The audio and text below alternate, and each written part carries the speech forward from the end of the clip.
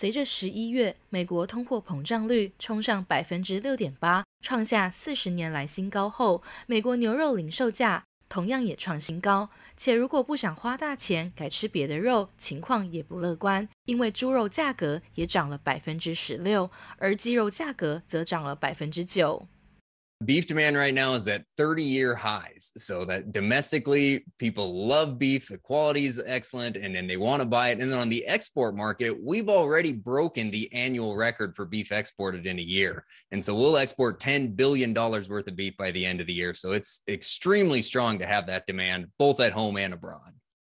且在新冠病毒疫情持续、供应链缺货与劳工短缺等问题无法完全解决的情况下，不止美国肉品业重创，其他原物料也无法幸免。